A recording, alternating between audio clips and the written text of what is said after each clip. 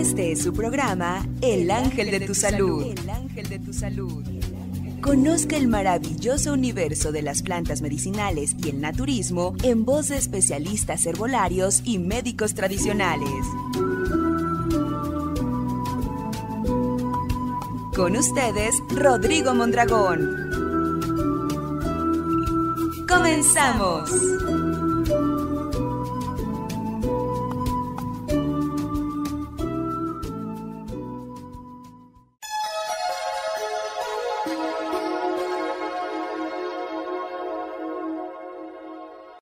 Hola, ¿qué tal amigos? Muy buenos días. Con ustedes, Rodrigo Mondragón, la voz del ángel de tu salud, con el gusto y placer de siempre. Vamos a platicar acerca de la fiebre gastrointestinal. Bueno, como antecedente, el estómago es la oficina donde el cuerpo fragúa la salud y la vida misma. Bueno, según las según la frase del sabio Cervantes. Así no lo dijo. También hay que considerar algo muy importante, ¿no? No existe enfermo con buena digestión, ni persona sana con mala digestión. Eso nos conlleva a entender esta gran frase, ¿no? De sabio Cervantes de que ahí se fragua la salud en el estómago y la vida misma, por lo tanto. Bien, entonces la salud del hombre depende por mucho de su lucha contra el calor interno de su cuerpo, lo que vamos a platicar el día de hoy, el calor interno, ¿no? Si hemos escuchado cuando alguien tiene fiebre, ¿no? Por alguna infección o cualquier otra cosa. Pero fiebre en el estómago, en el intestino, quizá no le ponemos atención, pero también hay fiebre ahí. O ahí tiene su origen, o ahí se gestó la fiebre. Y eso pues afecta por la función intestinal misma, pero también nos afecta en otros órganos, en otras funciones. Hace que colapsen. ¿Dónde se originó? Que de las veces. En el estómago. Bueno, entonces la salud del hombre depende por mucho de su lucha, o sea, de atender, de desactivar el calor interno de su cuerpo. Sí, ya que es el único ser de la creación que se enferma cuando la temperatura se desequilibra. ¿Y por qué se sufre un desequilibrio en nuestra temperatura? Tiene que ver con lo que comemos, por supuesto, cómo nos alimentamos, cómo ingerimos nutrientes. A lo que se atribuye generalmente en nuestra plataforma de medicina herbolaria y naturista es al consumo de alimentos sobrecocinados, entre otras cosas, mal preparados sea, lo que comemos incorrecto, es el que va a producir fiebre en el interior de nuestro cuerpo. Fiebre, elevación de temperatura, que a su vez, asimismo, ¿verdad?, aumenta con el conflicto térmico que sin darnos cuenta produce la atmósfera, o sea, nuestro entorno que nos rodea. ¿Sí? Aparte de que los alimentos incorrectos, inadecuados, son los que producen elevación de temperatura, pues nos enfrentamos también, ¿no? A los cambios de temperatura, pues, del ambiente. Sí, cambio de clima, cambio de estación, se suma también, claro, por supuesto. Pero a veces decimos, Sí, hubo un cambio de clima, de frío a calor, cambio brusco, decimos, ¿verdad? Por eso me enfermé. Pero generalmente no decimos, me enfermé, tuve un cambio térmico, una elevación de la temperatura en mi sistema gastrointestinal, no lo decimos. a la vez lo desconocemos. Y esto hay que conocerlo para que de esta manera también se atienda. Bueno, esta afectación, fiebre ¿no? gastrointestinal, va a alterar completamente la salud de quien la padece. ¿Por qué razón? Nos desnutrimos, nos intoxicamos. Sí, ¿verdad? Porque está incorrecta la digestión. O está incorrecto el alimento. Generalmente, pues claro, es el alimento el que está mal. Nos desnutre e intoxica, decimos. Pero ¿cómo si estoy comiendo? Me estoy alimentando, me estoy nutriendo. Sí, pero no bien, de manera incorrecta. ¿Qué pasa cuando nos alimentamos de manera incorrecta que pues definitivamente se transforma el contenido intestinal en putrefacción. O sea, se pudre, se descompone, se fermenta, como quiera oírlo. A veces platicamos que los excesos también. Si una persona, vamos a hablar de un alimento sano, porque también eso hay que mencionarlo, ¿no?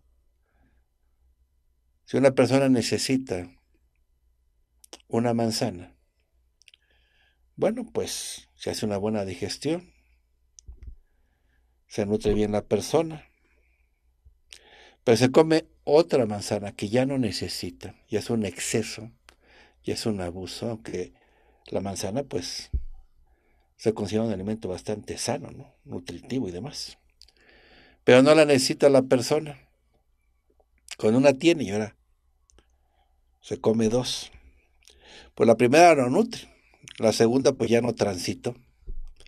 Ya se fermentó porque elevó la temperatura intestinal cuando sentimos mucha gasificación. Decimos, tengo muchos gases. Y llega a haber ahí tanto fermento, tantas bacterias de descomposición, que en un inicio pues están ayudando, ¿no? Descomponiendo, pero seguimos agregando, o sea, comiendo de más, más y más, pues llega el momento en que hasta lo que es sano se fermenta, ¿no? Como la manzana, se descompone. ¿Y qué es lo que pasa con un alimento que está descompuesto ya al interior? Pues mi mismo cuerpo hace que me dé náusea, me dé vómito, que me dé diarrea, o sea, para que salga rápido, ¿no? Por cualquier vía, por arriba o por abajo. Y ahí tengo ya algo que ya fermentó, se descompuso, su estructura se volvió dañina, su contenido ya no beneficia, entonces el cuerpo lo desaloja como puede. Y es cuando tenemos esa incomodidad de la náusea, el vómito, la diarrea, el cólico, el dolor y molestias, ¿no? Pero es que estamos comiendo de más o lo que comimos, pues no funciona como nutriente. Está sobrecocinado, ¿no? Lo que nos pasa, ¿no? Andamos en la calle a veces. Andamos cortos de tiempo y con mucha prisa y vemos ahí, no sé, unas quesadillas, ¿no? fritas.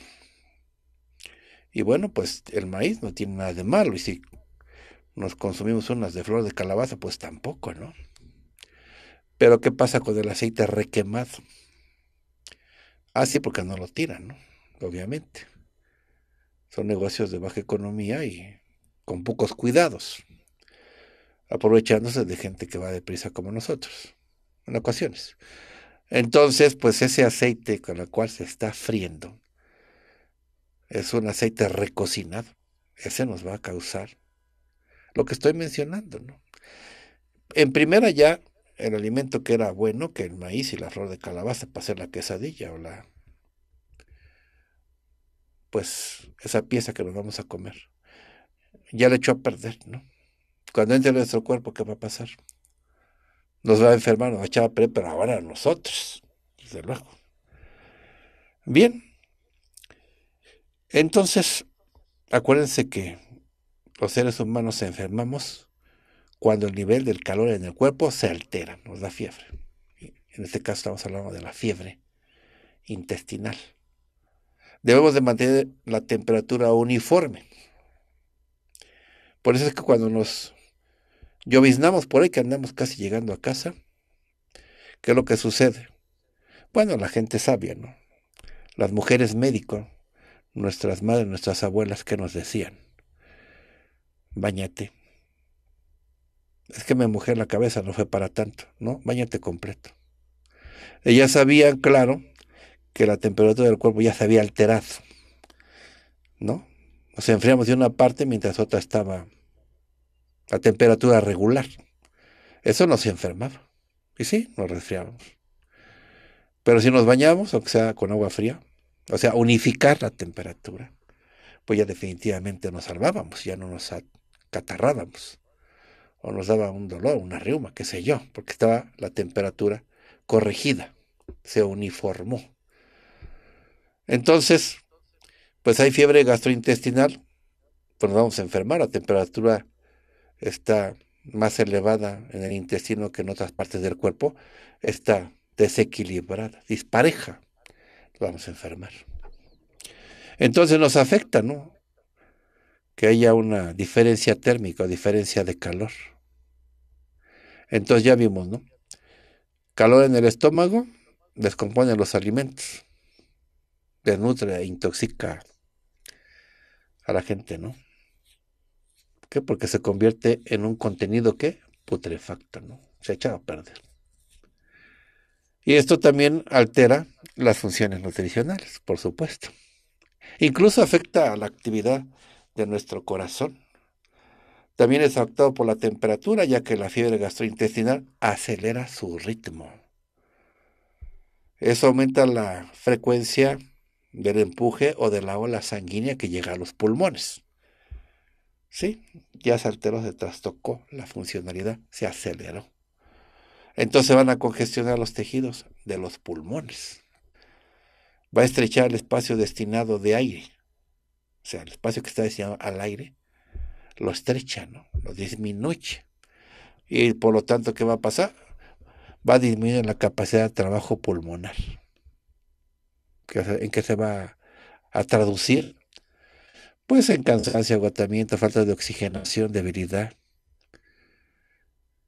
Bueno, estamos viendo cómo un mal alimento que tanto nos afecta, bueno, podemos citar muchas cosas. Por otro lado, la piel, ¿no? La piel sabemos que es el órgano más grande del cuerpo y que prácticamente es un tercer pulmón y un tercer riñón, porque depura, ¿no? Es un órgano que pues aparte de proteger todo el cuerpo, ¿no? Nos tiene la gran ayuda de que depura, de que limpia, se ven los poros, sale lo sucio. Pero ¿qué pasa si le falta un riego sanguíneo normal? Pues también sus funciones ya no las va a realizar igual. Todo fue ¿por qué? Porque el alimento no le está favoreciendo en nada a la funcionalidad del organismo en general. El equilibrio de la salud se logra solo cuando la temperatura de las dos envolturas del cuerpo. ¿Cuáles son las dos envolturas del cuerpo? Ya vimos una, la piel, pero por dentro hay otra. Las mucosas. Podemos ver fácil, ¿no? En la boca y la nariz. Por fuera la piel y por dentro ese recubrimiento. Son las mucosas. Entonces debe estar uniforme para que haya salud a 37 grados centígrados o Celsius, como le llaman hoy. Entonces, porque este nivel de calor en las mucosas del aparato digestivo nos va a asegurar buenas digestiones. O sea, si la temperatura está unificada, no tenemos fiebre gastrointestinal, entonces estamos saludables. Vamos a producir con la alimentación adecuada, la temperatura adecuada, pues sangre pura, ¿no? No contaminada, no con residuos tóxicos. Además, la piel va a trabajar bien, va a eliminar, eliminar las, las, impurezas que existen, que se forman de por sí. ¿A través de qué? De los poros del cuerpo. Muy interesante. Bueno, la mayoría de las veces que un organismo enferma o comienza a dar señas de debilidad, dolor, vulnerabilidad, pues es una deficiencia también, ¿no? Entre otras cosas, es que es la que no se considera a la hora de atender o hacer una fórmula o ver al paciente. siempre se piensa, ¿no? No, pues es algún germen, inmediatamente, ¿no? A darle antibióticos, antisépticos, antivirales. No se toma en cuenta que en este caso hay una diferencia de temperatura que hay que unificar. Independientemente de que tengan que hacer la demás terapia, esta es muy importante.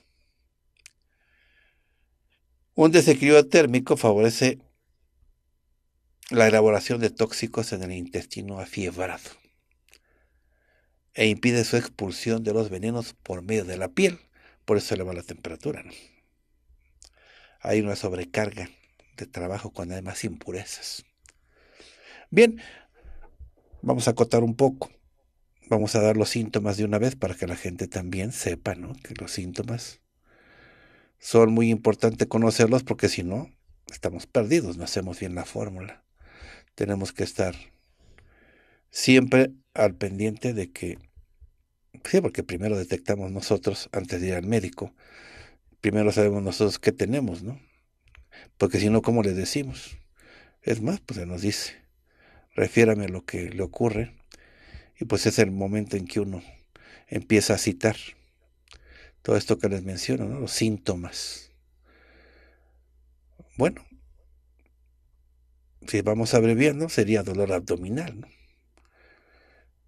Ese es un síntoma común en la fiebre gastrointestinal. Un dolor que puede ser agudo, que puede ser sordo. Se siente exactamente aquí en la región del estómago. Náuseas, vómitos también. Sí, porque la fiebre gastrointestinal a menudo causa náuseas, vómitos frecuentes. Claro, es la forma en que el cuerpo intenta que expulsar lo que está incorrecto del contenido nutricional, bueno, de alimento. O puede ser ya también algunos agentes causantes de la infección. Tenemos que considerar también esta situación. Bueno, son los principales. Claro, la temperatura elevada, pues fiebre, ¿no?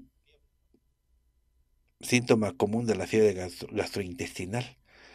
Incluso la temperatura corporal puede elevarse por encima de los 38 grados Celsius.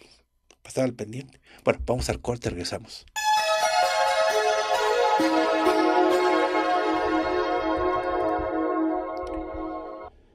Bien, continuamos, estamos diciendo, ¿verdad? Mencionando cuáles son los síntomas para cuando una persona tiene fiebre intestinal o fiebre gastrointestinal. Punto muy importante, ¿no? Porque tenemos que identificar bien el padecimiento para poder resolverlo, para poder combatirlo. Diarrea también. Es uno de los síntomas más comunes de la fiebre gastrointestinal. Sabemos, ¿no? Las heces pueden ser líquidas, acuosas. En este caso a menudo tienen un olor fétido. Hay fatiga y debilidad. La fiebre gastrointestinal puede hacer que uno se sienta muy cansado, muy débil. ¿A qué se debe? A la pérdida de líquidos, a la pérdida de nutrientes. Se debe a la diarrea, los vómitos y el alimento que estaba descompuesto, estaba en mal estado, o bien fue en abundancia exagerada. Es una gran comilona, ¿no? Pasa esto. Te puede perder el apetito a pesar de pues puede deberse a la sensación de náusea, ¿no? Del malestar estomacal también. El malestar estomacal, por supuesto.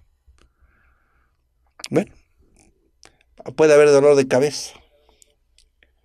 La fiebre gastrointestinal puede causar dolor de cabeza. Puede ser leve, pero también en ocasiones es muy intenso. Por eso hay que estar bien hidratado. Cuando tomamos plantas, es la gran ventaja que tienen son cocimientos.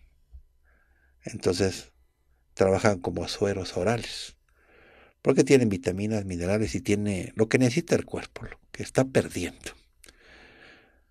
Duelen los músculos. ¿Sí? Puede ser en general, o alguna parte de nuestro cuerpo, nuestras rodillas, nuestros codos, nuestros pies.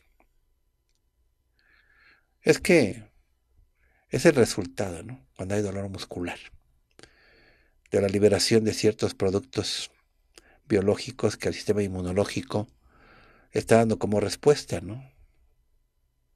Quizás sea una infección. Para este caso estamos analizando que es una fiebre gastrointestinal provocada por alimentos que no son correctos, son inadecuados. Fue muy abundante. Sangre en las heces llega a presentarse, fíjense. Es un signo de que la situación se está comprometiendo, ¿no? Tenemos que apresurar el tratamiento. Vómitos con sangre llega a producir, si no vamos atajando pronto los síntomas que son, digamos, más suaves, vamos a encontrarnos con unos más rudos, ¿no? Hasta que entendamos. Dirá eso al cuerpo, ¿no? Primero empieza a mandar signos, señas, señales leves, pero va intensificando, lo está defendiendo. Pero ya cuando hay vómitos con sangre, pues es una señal de que se está complicando, ¿no? Puede ser una úlcera también, pero igual, parte de la complicación. La fiebre puede elevarse todavía más. Sí, porque sigue elevándose a veces muy alta. El aumento del ritmo cardíaco que estamos platicando, hace que el corazón esté latiendo más rápido de lo normal. Sí, tiene que ver con la lucha que está haciendo el sistema inmune, pero también con la deshidratación. Hay que estarse siempre hidratando. Se puede perder peso. ¿A qué se debe? Pues a la diarrea, al vómito. Tenemos que hacer algo también nosotros, ¿no? No todo el tratamiento, hay que descansar que la fiebre gastrointestinal puede ser agotadora. Entonces hay que aprovechar los momentos para descansar. De lo contrario, por las demás actividades ya no las podemos realizar a plenitud. Estamos demasiado cansados para trabajar o para hacer actividades diarias. Hay que tomarse el tiempo. Hidratarse con los preparados herbales. Es importante, ¿no? Pero hay que evitar otro tipo de líquidos, la cerveza, o sea, las cosas alcohólicas, la cafeína, o sea, refrescos, ¿no? Concreto, porque se empeora la deshidratación. Se está pensando que con eso estamos atendiéndola, pues igual, se ve líquido.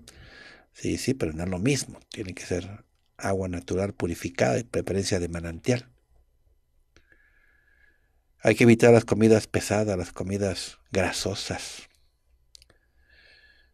Claro, todo lo que viene en lata, en cartón, también hay que evitarlo. Que es lo que nos orilló hasta esa situación, pues hay que alejarlos. Hay que mantener mucha higiene, eso sí. Hay que lavarse las manos regularmente con agua y jabón, que por si es infección. Pero generalmente es esto, ¿eh? Lo que pasa es que, ¿saben qué es? Cuando tenemos putrefacción, intestinal a consecuencia de la fiebre intestinal.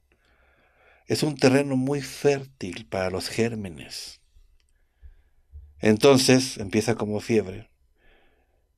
Puede continuar como fiebre intestinal mientras estemos comiendo cosas incorrectas, pero eso les da entrada libre a los gérmenes, sobre todo las bacterias, los hongos también, las levaduras, que de eso se alimentan, de esos fermentos.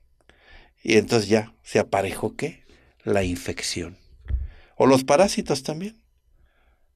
Está ahí lo que les encanta, ¿no? Lo pútrido. Y lo tenemos ahí, en el tubo digestivo.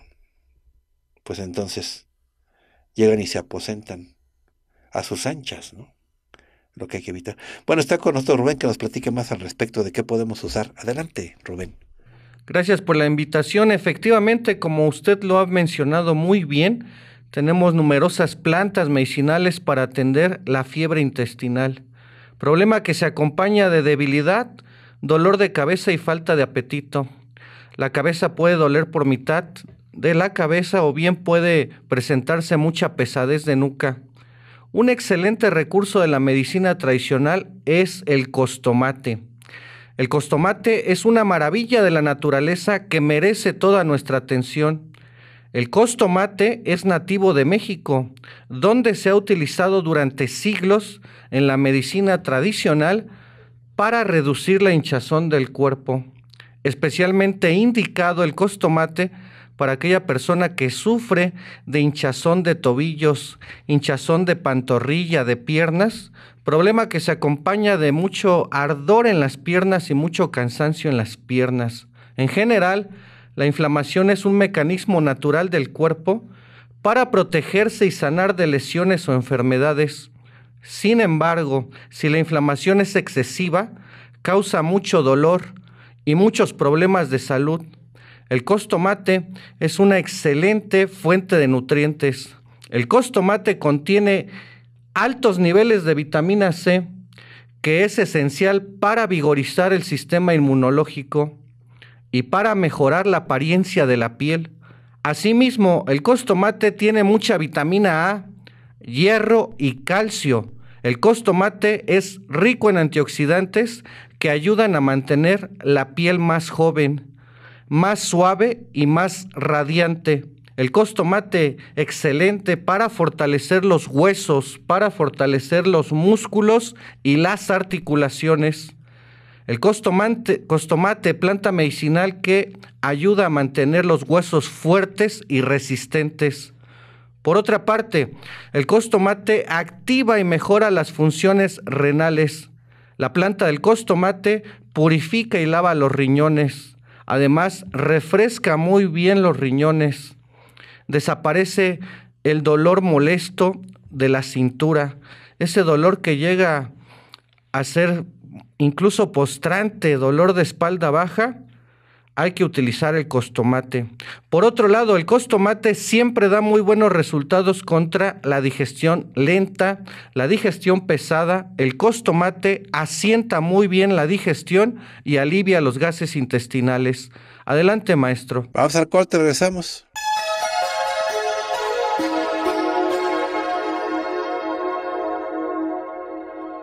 Bien, continuamos. Estamos platicando acerca de cómo unificar la temperatura corporal o cómo estar al pendiente para hacer esto. De lo contrario, pues ya vimos que hay muchas alteraciones que van apareciendo tan solo por este desbalance térmico. Por eso hay que estar incluyendo en nuestros tratamientos siempre lo adecuado, lo correcto, para que se unifique la temperatura corporal. De lo contrario, quizá utilicemos muchos recursos, pero fallidos porque no estamos considerando en nuestros recursos de solución, ¿no? De resolución, decimos nosotros. La temperatura corporal que está alterada, la fiebre intestinal, la fiebre gastrointestinal. Y sí, necesitamos desde luego que se resuelva, ¿no? Con gusto, elaboramos su fórmula. Nos ayuda bastante que nos proporcione un correo electrónico donde vamos a enviar la fórmula una vez que ya la elaboramos para que le llegue pronto. Y así empieza su tratamiento sin tardanza. Bien, la fórmula que elaboramos en el transcurso del programa la colocamos directamente en nuestra página para que ahí usted tenga disponible la fórmula, pueda enviar a un amigo, alguien que necesite una fórmula, por supuesto, o bien que adquiera para usted y para los suyos una fórmula y le llegue sin costo adicional le llegue directamente hasta las puertas de su hogar en el interior de la República. Bien, la página para que usted la visite es www.lavozdelangeldetusalud.com.mx www.lavozdelangeldetusalud.com.mx Bien, le aviso que puede comunicarse a través de Twitter con arroba la voz guion bajo del ángel, arroba la voz guion bajo del ángel, o también puede comunicarse a través de Facebook con el ángel de tu salud México, el ángel de tu salud México. Y le recuerdo que a repetición de este programa a las 9 de la noche. Le doy la página para que si gusta escucharnos en la repetición de las 9 de la noche es www Radio La Voz del Ángel de tu Salud.mx. Nuevamente www.radiolavozdelangeldetusalud.mx. Bien, vamos a mencionar a nuestros patrocinadores. Centro de Asesoría Herbolaria en Pachuca, Hidalgo.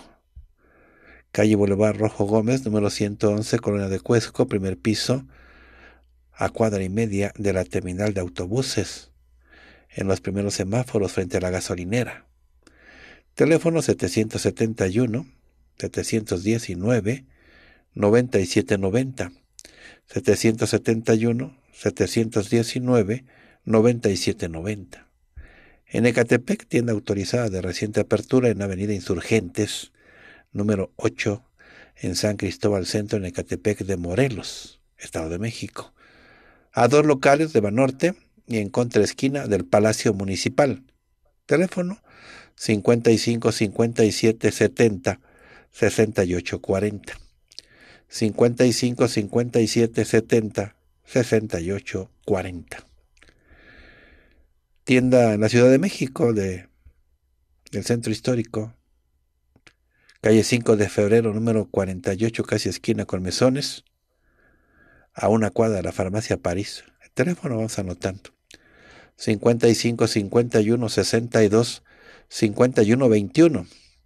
55 51 62 51 21. Metro cercano, Metro Pino Suárez en Netzahualcoyot. Esto es en el Estado de México. Tiene autorizada en Netzahualcoyot, en Avenida Adolfo López Mateos, número 379, primer piso, local 3, Colonia Evolución, a cuadra y media de la glorieta del Coyote y con dirección al Mexibus, junto a la lavandería Aquamatic. Teléfono, anotamos, 55 17 10 54 75. 55 17 10 54 75. La atención es de lunes a sábado de 9 a 7. En circunvalación, ahí en la Merced. Tienda autorizada en la Merced. Anillo de circunvalación número 1016. Colonia Merced Barbuena. Entre Juan Cuamachín y Adolfo Gurrión. A cuadra y media de la estación del metro Estación Merced. Teléfono 55 55 52 0897 55 55 52 0897. Bien, vamos ya a elaborar la fórmula del día. Veamos. Es una fórmula que atiende precisamente la fiebre gastrointestinal diferencia de temperatura que nos va a causar síntomas y signos para saber cuando no lo tiene, pues saber, ¿no? Y desde luego resolver. Bien, la temperatura corporal puede elevarse por encima de los 38 grados Celsius. Hay dolor que puede ser agudo o sordo y generalmente se siente en la región del estómago. Los vómitos pueden ser frecuentes. Las heces pueden ser líquidas y acuosas, o sea, diarrea. Y a menudo tienen un olor fétido, desagradable. Hay dolor de cabeza, que puede ser leve o intenso. Hay dolor muscular, puede ser localizado o generalizado, me duele por todas partes. Hay dolor de garganta, puede causar mareo o vértigo vómitos con sangre también. Bueno, esto es importante, ¿no? Vamos a elaborar la fórmula para atender esta situación. Entonces vamos anotando que se va a ocupar el costomate, ¿no? Sin duda. Paraca, calamondín, enel 2, manzanilla polen, sábila, Nuevamente, Costomate, Paraca, Calamondín, Enel 2, Polen, Sábila. Mezclamos las plantas juntas por partes iguales, ya mezcladas, una cucharada sopera para un litro de agua, 10 minutos de hervor. Se toma antes de cada alimento. Antes de cada alimento. No olvide que hay que estar hidratándose, tomar líquidos. En este caso el té es muy buena idea. porque tiene todo lo que necesitamos. Es una raíz el costomate, por lo tanto entendemos que tiene minerales suficientes para hacer un suero. Bien, ahora suplementos, matlali con asparagina, ajo con alanina, yumel, escribe con Y, yumel, aceites de linaza, omega 3 y vitamina C, aceites de linaza, omega 3 y vitamina C. De estas cápsulas, una de cada una, se toman antes de cada alimento. Una de cada antes de cada alimento, lo repito de nuevo, claro, con gusto. Matlali con asparagina, ajo con alanina, yumel, aceites de linaza, omega 3 y vitamina C. Una de cada una antes de cada alimento. O el suplemento adicional para fortalecer el sistema inmune y en este caso para ayudar en esta situación, o sea, para que coadyuve, ¿no? Para que amarre más. Bueno, utilizamos el elixir que contiene clorofila, espirulina y pasto de trigo. Clorofila, espirulina y pasto de trigo y la clave es 1810. Clave 1810. Se toma un vasito dosificador al levantarse y otro vasito dosificador antes de acostarse. Dos vasos al día. Dos vasitos dosificadores, no vasos grandes, chiquitos. De los que vienen ahí en el empaque, en la caja. Un vasito dosificador al levantarse y otro vasito dosificador antes de acostarse. Diariamente, ¿eh? diariamente. La fórmula está completa, vamos al corte, regresamos.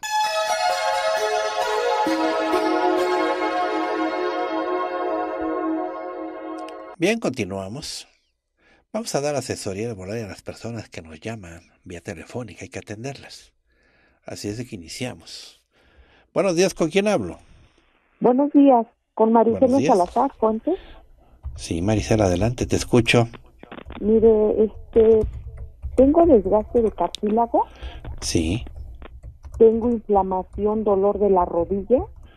Sí y al momento de caminar ya como que se me falsea. Sí. Tengo mala circulación. Sí. Dolor de articulaciones, huesos. Ruido intestinal, inflamación. ¿Inflamación intestinal? Ajá, inflamación intestinal. Sí. Y, este, ruidos intestinales, gastritis. Sí tengo mucha ansiedad, estoy muy nerviosa. Sí. Tengo este pues la vista borrosa, la memoria, luego a veces se me olvidan las cosas. Sí. Mucho cansancio. Los triglicéridos y colesterol. ¿Están elevados? Sí. Elevados y este y tengo obesidad sí y este y tengo hongos en los pies he hecho muchos tratamientos he hecho muchas cosas y no se me quita sí qué más y este cómo se y el el pie el pie tengo se me está saliendo como el huesito del donde está el pie gordito como ¿Sí? que se me empezó a salir mi huesito qué otra cosa es todo bueno qué edad tienes tengo 52 años. ¿Cuánto pesas? 68. ¿Otra vez? Tengo 52 años. Peso Correcto. 68 kilos. Y sí. mido 1,45. Bueno. Hacemos la fórmula, no te preocupes. Vamos a ver. Bien. Utilizamos lo siguiente. Vamos a buscar las plantas adecuadas sería aguardientillo, malvarrubia, por supuesto, malabar. Utilizamos té zapoteco, alcacil, palo brasil. Fue así, aguardientillo, malvarrubia, malabar, té zapoteco, alcacil, palo brasil. Mezclamos las plantas juntas por partes iguales ya mezcladas. Una cucharada sopera para un litro de agua, 10 minutos de hervor. Se toma antes de cada alimento. Antes de cada alimento. Ahora, los suplementos, mango africano, arúgula con potasio, lecitina de soya y picolinato.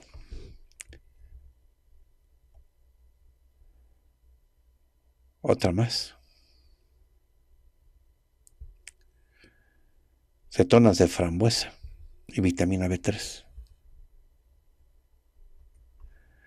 Por lo siguiente, mango africano, arúgula con potasio, lecitina de soya y picolinato, cetonas de frambuesa y B3. Van juntos. De estas cápsulas son de cada uno y se toman antes de cada alimento. Me dio gusto atenderte. Continuamos.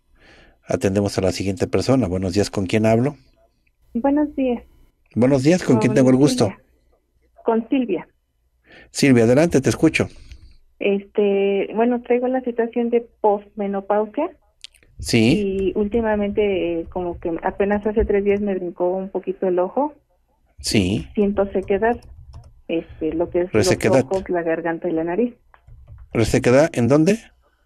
En los ojos, nariz y garganta. Sí, Interna es interna porque ya externa ya no. sí, interna. ¿Qué más? Y pues me siento así luego de repente como muy, este, como que no puedo dormir muy bien. No puedes dormir. ¿Hay desesperación, hay angustia? ¿Qué es lo que tienes? Mm, no más es desesperación porque la verdad sí luego Desesperación. este, me hacen pasar muchos corajes y la verdad pues me los tengo que aguantar para no pelearme. Sí. Muchos corajes entripados. ¿Qué más? Este, pues nada más. Nada más, ¿qué edad tienes? Eh, 44. 44. ¿Cuántos kilos pesas? ¿Perdón? ¿Tu peso? Este, peso es 53. 53. ¿La estatura? 155. Bueno. Entonces vamos a hacer la fórmula para que se solucione. Bueno. Anotamos entonces. Utilizamos Bardana. Luego de Bardana utilizamos Baraima, Capitaneja anaranjada, Bálsamo del Perú, Teotomí también, Tira de Trompillo. Bien, la menciono de nuevo, Bardana mexicana, Baraima, Capitaneja anaranjada, Bálsamo del Perú, Teotomí, Tila de Trompillo. Bien, mezclamos las plantas juntas por partes iguales, ya mezcladas. Una cucharada sopera para un litro de agua, 10 minutos de hervor. Se toma como agua de oso. Ahora suplementos. Sábila y olivo. Utilizamos albahaque, cardo rojo, valeriana amarilla. Fue así entonces, sábila y olivo, albahaque, cardo rojo, valeriana amarilla. Una de cada una se toman antes de cada alimento. Me dio gusto atenderte. Atiendo a la siguiente persona. Buenos días, ¿con quién hablo? Buenos días. Rosalinda Silvestre. Rosales. Sí, adelante, te escucho. Ah, mire, este, mi problema pues ya es crónico, este, padezco de intestino irritable, este, diarrea, estreñimiento, Sí, mala digestión, Sí. calambres en el estómago, eso es lo que padezco. Ajá. mala digestión, calambres en el estómago. ¿Lo padeces desde, desde cuándo? Pues yo desde que me acuerdo de que como que estaba chica de unos 12 años, Ah, me llegaba eso, tiempo, se me retiraba o fácilmente me enfermaba del estómago, aunque no comiera yo en la calle, me Sí. enfermaba, me soltaba del estómago. Entiendo. ¿Eres nerviosa? Mm, algo, sí. ¿Irritable? ¿Te enojas? Pues a veces sí, aunque no quiera, a veces sí me, Bueno, me, me irrito, sí. Bueno. ¿Qué edad tienes? Tengo 57 años. ¿Cuánto pesas? Peso sin peso 67. 67 y estatura? Estatura mide unos 56. Bueno, vamos a hacer la fórmula. Anotamos entonces, utilizamos cuacharalate, fresno, acagual, anís de monte, borraja, bolsa del pastor. Bien, cuachalalate, fresno, acagual, anís de monte, borraja, bolsa del pastor. Mezclamos las plantas juntas por partes iguales, ya mezcladas. Una cucharada sopera para un litro de agua, 10 minutos de hervor. Se toma como agua de uso. Cápsulas. Utilizamos cápsulas de ajo, de espino álvar, cisteína con coral, noni morinda. Menciono otra vez, cápsulas de ajo, espino álvar, cisteína con coral japonés, noni morinda. Estas cápsulas, una de cada una, y se toman antes de cada alimento. Me dio gusto atenderte. Ya nos vamos. Gracias por su atención, gracias por su compañía. Maestro Rubén, muchas gracias por su participación. Gracias, profesor.